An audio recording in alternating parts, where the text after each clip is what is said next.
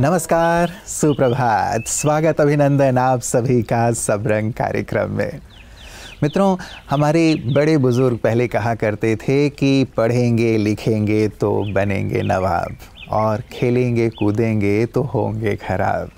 आपने भी अपने बड़ों से ये बात ज़रूर सुनी होगी। वो कहा करते थे कि पढ़ो, तभी तुम नवाब बनोगे, अर्थात अच्छा ऊँचा पद पाओगे, नौकरी पाओगे। और बस खेलते कूदते रहोगे तो ख़राब हो जाओगे, तुम्हें जीवन में कुछ भी नहीं मिलेगा। लेकिन मित्रों, ये बात अब पुरानी हो गई है। अब तो खेल कूद के भी नवाब बना जा सकता है। हम देखते हैं कि खेल के क्षेत्र में जो खिलाड़ी हैं, वो कैसे देश का नाम रोशन करते हैं। चाहे हम एशियन गेम्स को देखें, चाहे ओलंपिक्स को देखें, और उतने बड़े लेवल पे ना भी जाएँ तो भी सिटी लेवल पे हो, डिस्ट्रिक्ट लेवल पे हो, स्टेट लेवल पे हो, या नेशनल लेवल पे भी हो, वहाँ पे भी जो खिलाड़ी अच्छी परफॉर्मेंस देते हैं, वो कितना नाम कमाते हैं। परिवार का भी नाम होता है तो देश का भी नाम होता है। मित्रों, खेल सचमुच जीवन में आगे से आगे बढ़ने का बहुत सुंदर एक माध्यम है, साधन है, मनोरंजन तो है ही, लेकिन साथ साथ ये हमें नवाब भी बनाने वाला है, इसीलिए खेल को भी अपने जीवन में ज़रूर हम शामिल करें। आज मैं खेल की बात इसलिए कर रहा हूँ, क्योंकि आज राष्ट्रीय खेल दिवस है। प्रतिवर्ष हम 29 अगस्त को राष्ट्रीय खेल दिवस मनाते हैं। मेजर ध्यानचंद जी, जो कि हॉकी के जादूगर थे, उनकी स्मृति में। तो आज के राष्ट्रीय खेल दिवस की आप सभी को हार्दिक बधाइयाँ और शुभकामनाएँ देते हुए आइए लिए चलता हूँ आपको आज के सुंदर सुभाग्य की ओर।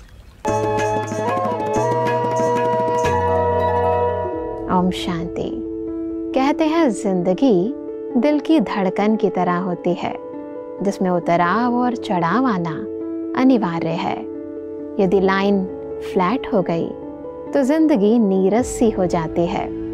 इसलिए जीवन में जितना चढ़ाव का महत्व है, उतना ही उतराव का भी महत्व है। क्योंकि हमारे उतराव हमें बहुत से सबक सिखाने के लिए आते हैं। और जब तक हम ये सबक सीख नहीं लेते, तब तक आते ही रहते हैं। और जब हम सीख जाते हैं तो हम ऊंचाइयों को छूने लगते हैं। और ऊपर उठने के बाद यदि हमसे कोई गलती हो जाए या हमें अभिमान आ जाता है तो हम फिर से उतराव की ओर आ जाते हैं। इसलिए उतराव और चढ़ाव की इस गतिमान ज़िंदगी का आनंद उठाते रहे। जब आप ऊपर उठें तो अभिमान न करें, और जब नीचे आए तो हताश न हो जाएँ। अपने दृष्टिकोण को सदा सकारात्मक रखें। यकीन मानिएगा, आपको उतराव में भी चढ़ाव का आनंद आने लगेगा।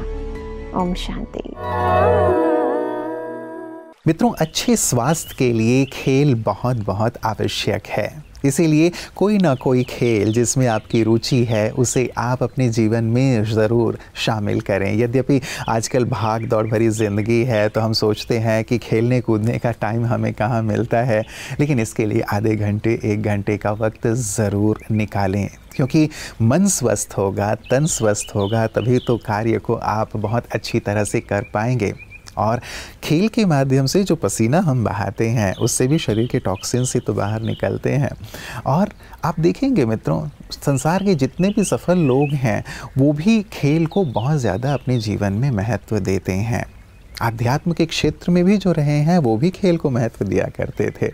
प्रजापिता ब्रह्मा, जो कि ब्रह्मा कुमारी के साकार संस्थापक हैं, वो भी बैडमिंटन और क्रिकेट खेला करते थे। और वो कहा करते थे कि शारीरिक, मानसिक और आध्यात्मिक स्वास्थ्य के लिए खेल बहुत ज़रूरी है। तो मित्रों, हम भी आज के खेल दिवस पे ज़रूर ये संकल्प लें कि कोई ना कोई खेल ज़रूर हम प्रतिदिन खेलेंगे, ताकि हम भी संपूर्ण रूप से स्वस्थ रहें। नमस्कार। वेट कम करने की जो अलग अलग विधियाँ हैं, एक तो जैसे मैंने कहा, व्यक्ति खुद कोशिश करता है। उसके अलावा कहेंगे कि जब आप डाइटिशियन के पास जाते हैं, कोई डॉक्टर के पास जाते हैं तो एक तो है जिसको कहा है कि हाई प्रोटीन डाइट, कि जिसमें व्यक्ति प्रोटीन ज़्यादा खाता है और कार्बोहाइड्रेट भी बहुत ही कम है साथ साथ में फैट भी कम है। और वो कैलोरी जैसे मैंने कहा था कि बहुत बड़ी डेफिसिट नहीं लानी है। अगर आपकी आवश्यकता 2200 की है तो भी आपको 1200, 1300, 1400 कैलोरी ज़रूर लेनी है। तो वैसे भी एक महीने में आपका करीब तीन किलो वज़न कम होने लगेगा। और ये हाई प्रोटीन डाइट है वह काफ़ी प्रचलित है और वो काम भी करता है। वो इजी भी है एक प्रकार से देखो तो। उसमें भी कैलोरी इंपॉर्टेंट जो थोड़ा शुरू में काम है कि वाटर जो है वो निकल जाता है और कैलोरी डेफिसिट भी क्रिएट होती है, इसलिए आपके लिए इजी हो जाता है। फिर और कई डाइट है, भले कईयों के लिए काम भी करते हैं, लेकिन उसकी अपनी समस्या एक तो कीटोजेनिक डाइट कि जिसमें हाई फैट है मैक्सिमम फैट है ऑलमोस्ट ज़ीरो कार्बोहाइड्रेट थोड़ा सा प्रोटीन अब इसके पीछे का प्रिंसिपल ये है कि जैसे कहते हैं कि हीरे से हीरे को घिसा जाता है तो फैट फैट को मारती है। हैवी हाई फैट होने से कीटोन बॉडीज निर्माण होते हैं। जो कीटोन बॉडीज निर्माण होते हैं, वो फैट को डिस्ट्रॉय करते हैं। तो उसमें वेट कम होता है, परंतु थोड़ी भी आपने गलती की, क्योंकि व्यक्ति कर नहीं पाता है। वो एग्जैक्ट जो चीज़ें आपको बताई गई है, वैसे ही आप फॉलो करते हैं, तब तो अच्छा है। परंतु अधिक कहेंगे कि 95 परसेंट उसको फॉलो नहीं कर पाते। और फिर जो परिणाम है, वो उल्टा नेगेटिव आएगा कि आपकी फैट जमा होने लगेगी और वह समस्या करेगी। क्योंकि आपने वो कैलोरी डेफिसिट भी क्रिएट नहीं की और साथ में कुछ ऐसी चीज़ें भी ले ली कि जिसके अंदर काफ़ी कार्बोहाइड्रेट थी तो फिर वो कीटोन बॉडीज क्रिएट नहीं होगी। तो लाभ होने से उल्टा आपको नुकसान होगा। और ऐसे पहलो डाइट ऐसे बहुत प्रकार के डाइट है। बल हर काम करेगा। परंतु तो जो बेसिक प्रिंसिपल मैंने कहा है, एक तो उसकी मैकेनिज्म को समझ लीजिए डॉक्टर से भी। और फिर एग्जैक्टली exactly लंबे समय तक उसे फॉलो करना है, तब आपको रिज़ल्ट मिलेगा। नमस्कार। मित्रों, खेल न केवल हमें मानसिक और शारीरिक रूप से तरोताज़ा रखते हैं, बल्कि ये हमारे अंदर अनेक गुणों को भी विकसित करते हैं, अनेक मूल्यों को विकसित करते हैं। यदि आप गहराई से देखें तो एक जो खिलाड़ी होता है, बहुत ही परिश्रमी होता है। मेहनत करता है वो सफल होने के लिए। वो लगातार लगा रहता है। उसके अंदर आप सतत देखेंगे कि एक जोश बना रहता है, एक जुनून बना रहता है, एक उत्साह बना रहता है, उमंग बना रहता है। एक टीम स्पिरिट भी होती है, वो मिलजुल कर के कार्य करने में विश्वास करने लगता है। उसके अंदर डेडिकेशन की भावना आती है, वो अनुशासन प्रिय हो जाता है। तो जब ये सारे गुण होते हैं, तभी खेल के क्षेत्र में कोई भी खिलाड़ी सफल होता है। और जो कोच होते हैं, वो भी अपने खिलाड़ियों को इन बातों का ध्यान रखने के लिए बहुत बहुत ज़ोर देते हैं कि जब तक ये मूल्य तुम्हारे जीवन में नहीं होंगे, तब तक तुम खेल में सफल नहीं होगे। तो मित्रों, देखिए, खेल केवल कहने के लिए खेल है, लेकिन कितनी सारी वैल्यूज़ हैं जिन्हें हम अपने जीवन में लाना चाहते हैं, वो सहज ही खेल के माध्यम से हमारे जीवन में आ जाते हैं। और खेल के क्षेत्र में तो हम सफल होते ही हैं इन मूल्यों के साथ, लेकिन जीवन के क्षेत्र में भी ये मूल्य हमें सफल होने में बहुत बहुत मदद करते हैं। तो है ना बहुत ज़रूरी खेल खेलना, ताकि खेल खेल में हमारे जीवन में ये सारे मूल्य भी आ जाएँ और हमारा जीवन सुंदर मूल्यों से श्रृंगारित होके हमें सफलता के शिखर की ओर लिए चले। मित्रों मनोज खुशनुमा का आप सभी को प्रणाम ओम शांति। ज़िंदगी को खेल की तरह खेलने और निखारने का संदेश देती हुई प्रस्तुत है ये लघु काव्य रचना, ज़िंदगी के खेल में। ज़िंदगी के खेल में न मुश्किलों से हारिए, मुस्कुरा के ज़िंदगी को मूल्यों से संवारिए। ज़िंदगी के खेल में न मुश्किलों से हारिए मुस्कुरा के ज़िंदगी को मूल्यों से संवारिए। हार जीत जय पराजय का जगत में खेल है। दिलों को जीते प्रेम से तो मन से मन का मेल है।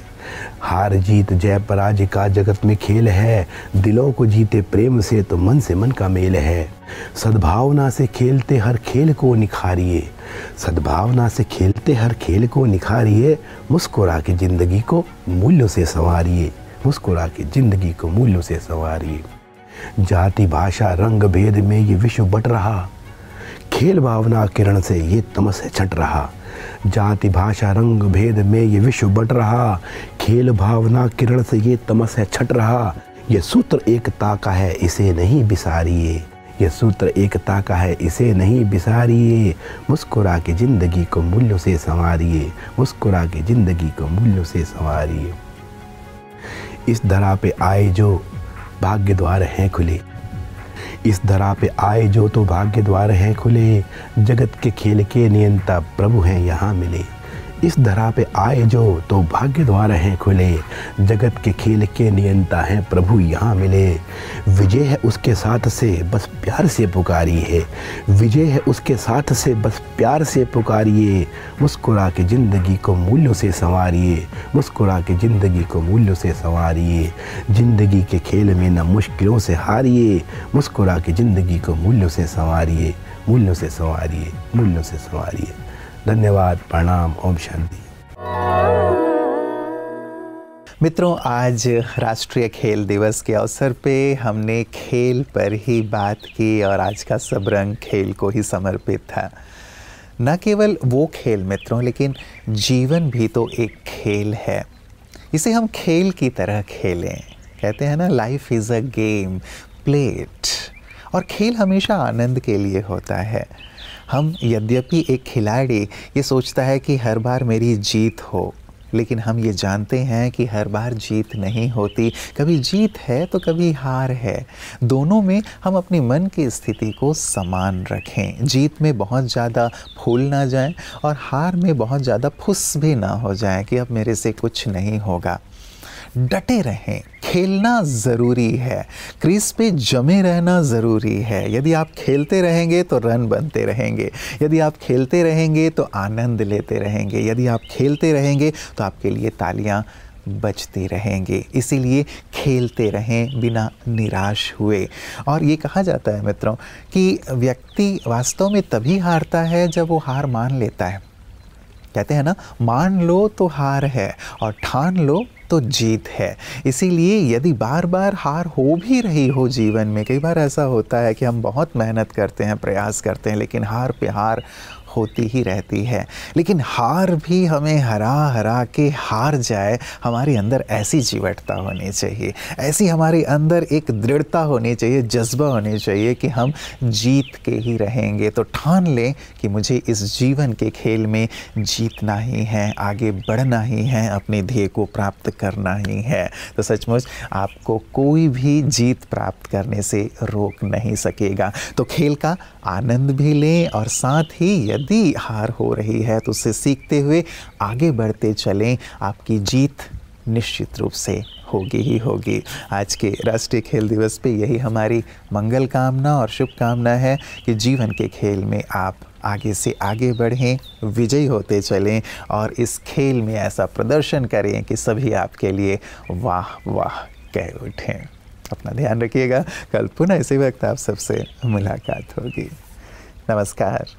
ओम शांति।